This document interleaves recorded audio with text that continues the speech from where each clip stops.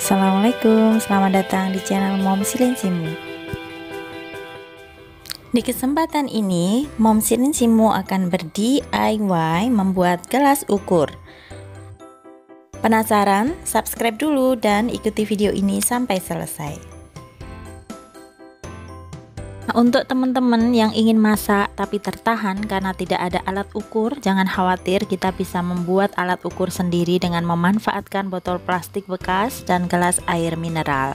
Bagaimana membuatnya? Simak video ini selengkapnya. Bahan dan alatnya cukup sederhana dan mudah dijumpai di sekitar kita.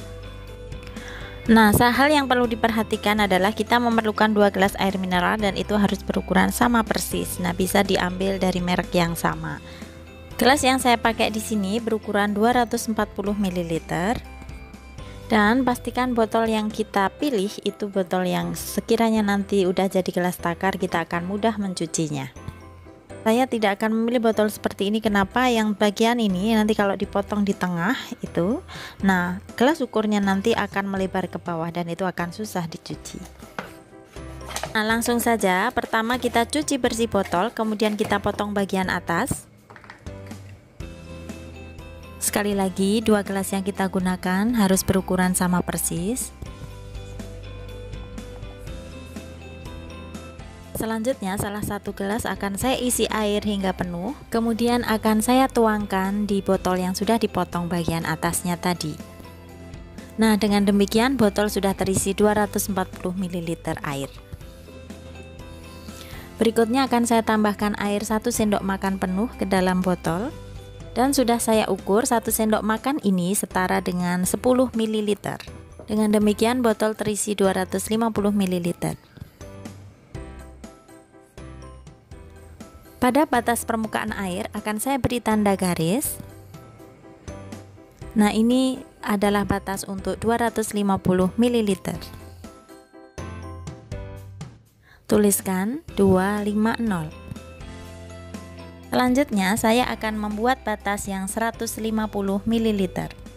Kembali tuang air ke gelas mineral hingga penuh 240 ml. Kemudian akan saya bagi ke dalam dua gelas yang sama dengan sama tinggi. Jadi masing-masing gelas akan terisi 120 ml. Kita usahakan tinggi airnya sama sepersis mungkin. Nah, setelah sama, salah satu gelas kita tambahkan 3 sendok makan penuh air. Di total sudah terisi 120 tambah 30 sama dengan 150 ml. Kemudian dituangkan ke gelas ukurnya tadi.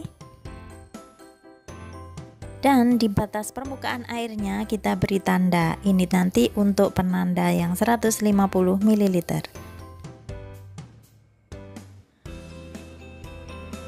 Kita tuliskan 150 sudah ada dua batas untuk 150 dan 250 kita bisa tambahkan untuk yang 50 100 dan seterusnya.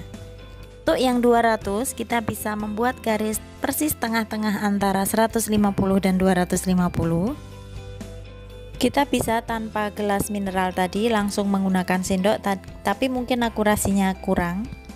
Alternatifnya kita bisa memanfaatkan sendok takar obat Nah, ini sudah ada tiga 150, 200 dan 250. Untuk yang 50 dan 100 kita akan bagi tiga bagian bawah ini. Kalau ingin lebih akurat bisa mulai diukur lagi seperti tadi, tapi ini akan saya kira-kira. Di sini bagian bawah agak lebar karena di bagian dasar botol itu ada cekungan ke dalam. Gelas ukur sudah jadi dan kalau teman-teman menemukan resep dalam cup, ini bisa dipakai. Kesetaraannya seperti apa kita lihat. Satu cup setara dengan 250 ml. Dengan demikian, setengah cup itu setara dengan 125 ml, tapi di sini untuk yang seperempat cup di sini dibulatkan menjadi 60 ml. Bagaimana untuk takaran gula dan terigu misalnya dalam gram. Kita bisa membuat gelas takar dalam gram untuk gula dan terigu. Bisa dalam gelas ukur yang sama dengan yang tadi, bisa juga dipisah karena ini untuk bahan yang kering. Ini dulu saya akan perlihatkan kira-kira satu sendok makan munjung terigu itu setara dengan berapa gram.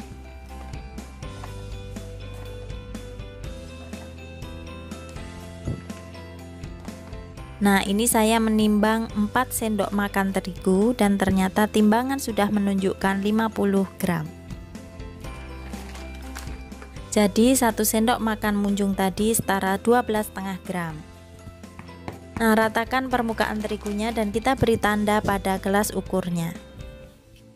Teman-teman tidak memerlukan timbangan Tadi saya sudah cek bahwa satu sendok makan itu setara 12,5 gram proses selanjutnya saya gunakan patokan itu.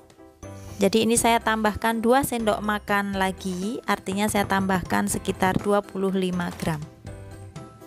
Saya beri tanda lagi pada batas permukaan terigu.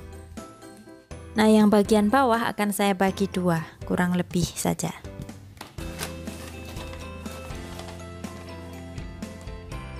Akan saya tambahkan 2 sendok makan lagi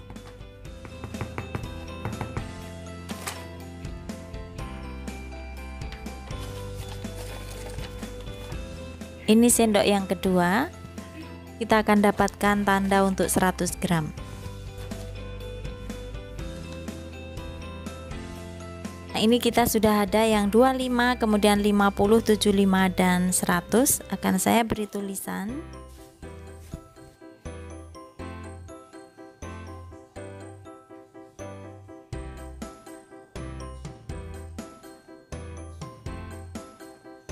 dan takaran untuk terigu dalam gram sudah jadi. Nah bagaimana untuk gula? Saya akan tunjukkan bahwa satu sendok makan gula juga setara sama dengan 12,5 gram.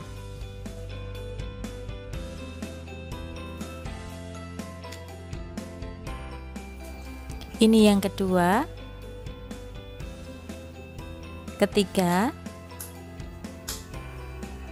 keempat dan jarum timbangan menunjukkan 50 gram. Jadi terlihat bahwa satu sendok makan gula pasir setara dengan 12,5 gram. Meskipun untuk ukuran dalam gram yang sama tepung lebih bervolume.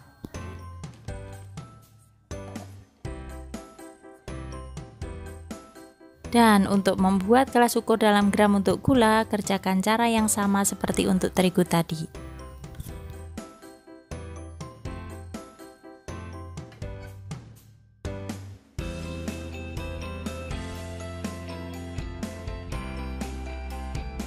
Nah sekian video kali ini. Semoga bermanfaat. Terima kasih sudah menonton. Insya Allah ketemu lagi di video lainnya. Assalamualaikum